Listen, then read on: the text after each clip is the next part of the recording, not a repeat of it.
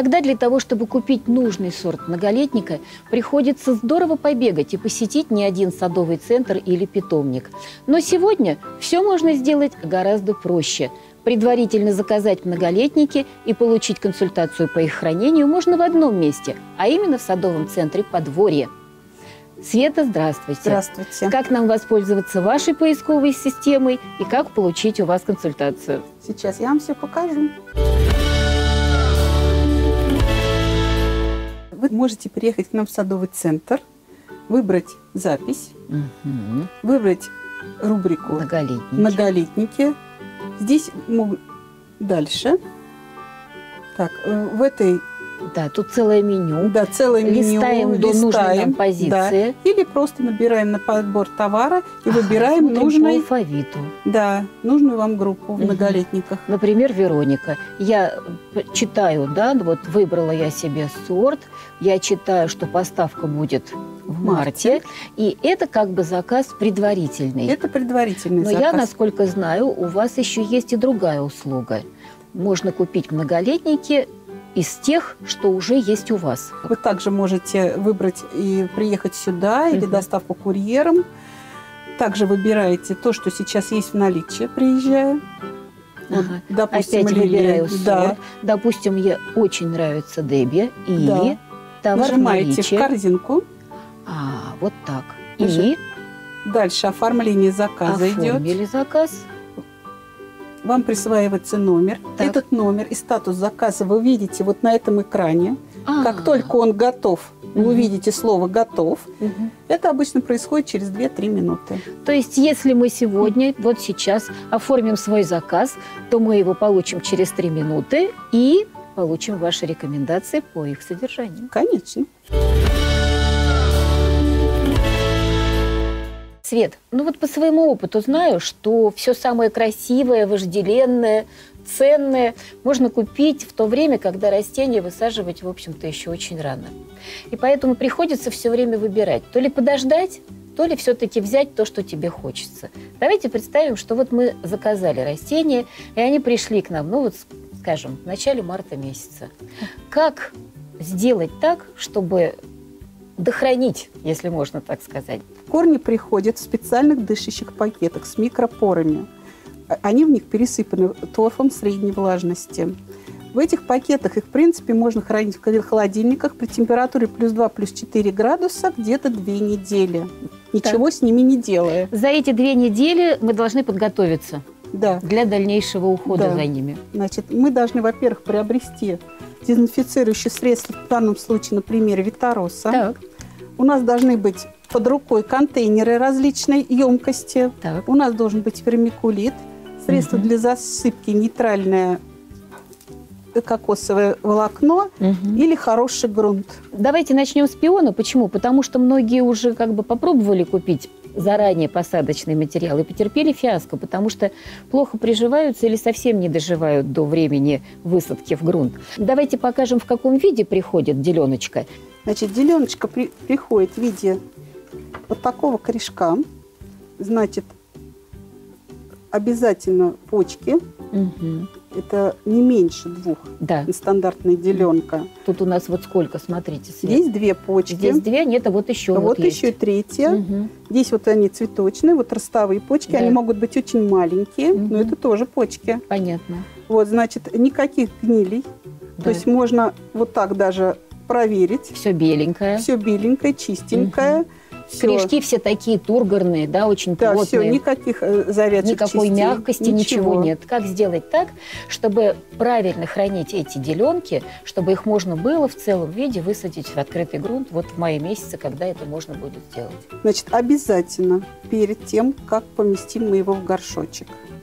Значит, э, дезинфекция. Вы можете его прополоскать в обычной воде, снять э, все остатки торфа, чтобы видеть, что с ним. То есть любое пятнышко Мгм. мы зачищаем.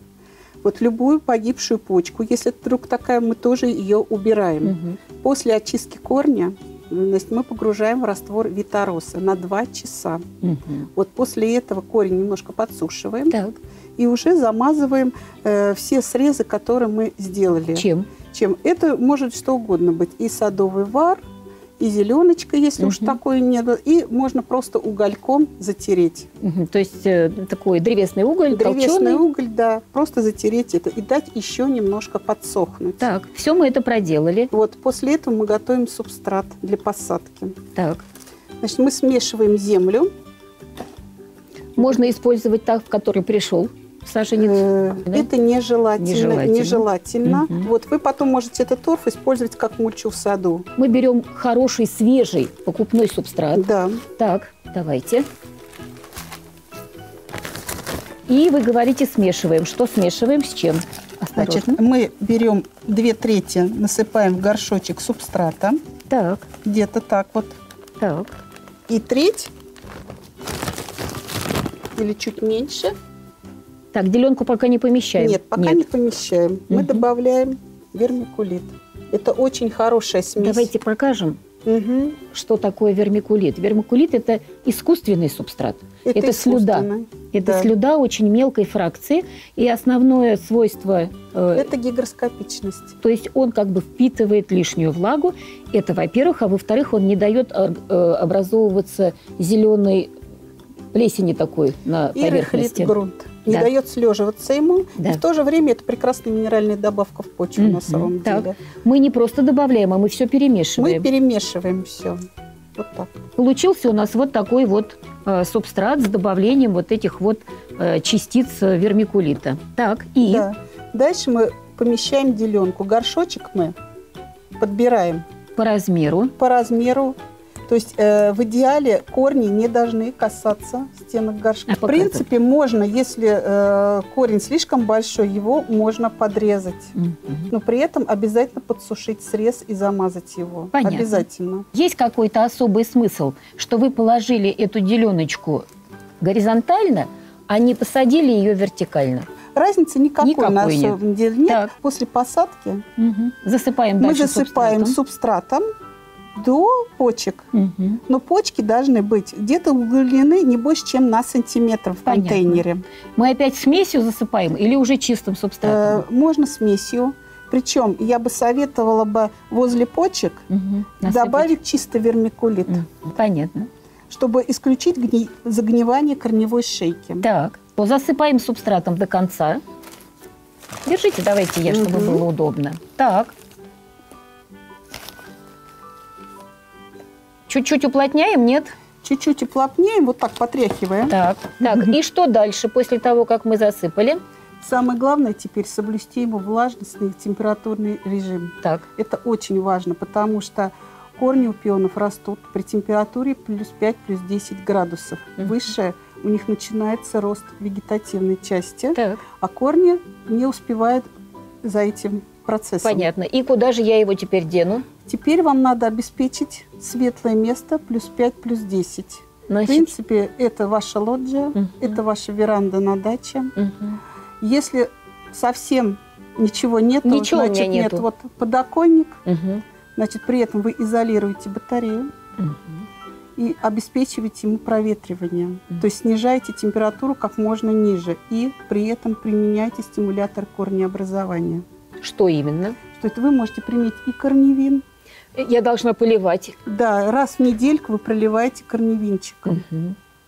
А вот, например, какие-то препараты против гнили мы добавляем сюда? А, значит, а, можно добавлять э, уже, если при комнатных условиях, вы можете добавить глиокладин, потому что он как раз работает при температуре плюс 20 градусов. Мгм. Он опутывает ваши корешочки Мгм. Э, с, э, грибницей, Да, полезной микрофлорой такой. полезный микрохлор, который препятствует гниению корня. Всеми правдами и неправдами мне удалось э, да, дохранить мою деленку, скажем, до мая месяца. Стоит ли в мае месяце пересаживать эту деленку в грунт? Или надо дождаться осени и осенью в оптимальные сроки посадить пион в грунт? В идеале, да. То есть мы сажаем, пересаживаем его к середине августа. В, э, в этот момент у него образуется корневой ком, Мгм. который мы легко вынем. И если есть желание посадить пион пораньше, Да. вы для этого сделаете, сделаете две полосочки ткани Мгм. и положите их на дно крест-накрест, чтобы концы свисали, Да, свисали. свисали э, с, с боков контейнера. Понятно. Потом вот так взяли и потянули. Вы взяли и потянули, и аккуратно, Да, не, не повредив ни одного корешочка, Мгм. вы э, погружаете его в грунт. Мгм. Если яма свежая, на таком же уровне, как и в горшке. Мгм. Потому что он еще просядет грунт, и вы потом мульчой досыпите нужные 3 сантиметра. Свет, но потом аккуратно эти полосочки-то Э, вытаскиваем. нет, если вы берете ткань, Мгм. пусть она там у вас так и А, остается. то есть это просто какая-то... Ветошь. Да, ветошь, белая ткань или что-то там, какая-то старая простынка была, Да, условно бинтик. говоря. Бинь, о, Бинт. широкий бинт. Широкий да? бинт, да. Чтобы, да. И тогда можно оставить, потому что он через год все равно сгниет. Да, не повредит ничего. Свет, ну э, вот что касается многолетников, вроде как разобрались. А вот что нам делать с луковичными? Насколько я понимаю, у лилии очень важно, насколько сохраняются их многолетние так называемые подлуковичные корни. Что делать, если я, допустим, вот в январе, в феврале куплю у вас лилии? Как с ними поступать? Во-первых, вы их также перед посадкой, Мгм. перед хранением, вы обязательно их продезинфицируете. Вы их достанете. Опять виторокс. Опять витороз, Мгм. опять засыпка свежая. Мгм. Можете их, в принципе, некоторое время поместить вот в этот же пакет. Ага. Вот. Так, чтобы э, стенки лилий не касались целлофана. Стенки луковиц. Стенки луковиц то есть не пакет касались Вокруг целлофана. земля. Вокруг земля и луковка. Так. Также их можно выбрать просто небольшой контейнер. Так. Такой годится, мал? Э, Можно их все сразу, можно каждый. Мгм. Вот. Если их очень много, вы Да. просто возьмите любой Ящик пластиковый большой. поддончик. Э, Давайте представим, что это у меня ящ- ящик. Я Мгм. уже насыпала здесь вермикулит. И вот э, я так как должна посадить? Расправить корни вот так по вермикулиту или все-таки приподнять вот так и засыпать? Ну, Нет, расправляйте корни. Расправля... Вот так. Расправляйте Вот корни. так. Прямо да, вот да, так, вот да. И, так, в принципе, при желании их можно, чуть-чуть подрезать. их можно обрезать, потому что лилия в грунте образует уже новые корни. Пересыпьте дно вот Супер. таким вермикулитом. Так. Вермикулитовый, Чистым. да, чисто вермикулитом. Можно Мгм. немножко грунта добавить. Так. Укладываете вверх носиком Мгм. лильки и пересыпаете их уже субстратом. На какую глубину? Вот. Здесь глубина не важна. Вы берете просто под высоту, Мгм. чтобы можно было ее засыпать немного. Там сколько? 10 Сколько сантиметров? должно быть над лилией субстрата? Над лилией сантиметра два, не больше. 2 сантиметра. И в какие условия ставим? Значит, смотрите, если позволяет место вашего бытового холодильника, вы поставите ваш контейнер в пакет и Мгм. по- поместите его туда. Даже если лилия будет расти, даже если она вырастет на 10 сантиметров, Ничего страшного это нет. ничего страшного. Вы посадите ее по всем правилам, заглубляя на три высоты. Мгм. Вот. Если у вас есть лоджия, даже неотапливаема, Мгм. при хорошем укрытии ее, то есть вы контейнер можете укрыть, Обернуть обернуть там всем, чем угодно, Понятно. поместить в коробку и так далее. Мгм. То есть самое главное, чтобы на лоджии температура не опускалась меньше минус 5. Ну, в общем, даже можно Мгм. в одеяло упаковать, насколько я могу понять, Они кому не будут у вас просто зимовать в грунте. Свет, давайте все-таки посмотрим и Мгм. покажем, как должен выглядеть вот качественный посадочный материал лилии. Ну, шикарно. Выглядит шикарно. Главное, корешки все белые. Э, У лилий луковица должна быть плотная, твердая. Мгм. Допускается механические повреждения, потому что лилии собирать не руками. Мгм. А, но никаких не должно быть гнилостных, вдавленных пятен. Вот, донышко должно быть тоже твердое. И желательно, значит, а, посмотреть, нет ли обломанного ростка. Посмотрите. Она еще не проснулась, она спит. У нее не Мгм. то, что нет ни обломанного ростка, у Да, нее нее вообще еще нет, нет. ростка. Да. Да. Вот, она плотненькая, у нее хорошие корни здоровые. Мгм.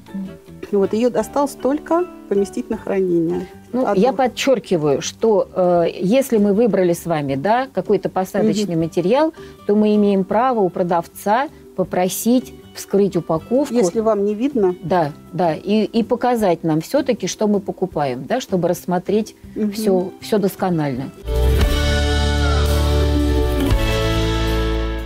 Ну что, я думаю, что мы исчерпывающе осветили вопрос приобретения, хранения и дальнейшей высадки этих деленок. Я все-таки, конечно, понимаю, что хранение в холодильнике, постоянные там проветривания, проверки, это все достаточно хлопотно. Но зато мы будем иметь с вами счастливый сад, такой, что как бы соседи, наверное, будут нам с вами завидовать.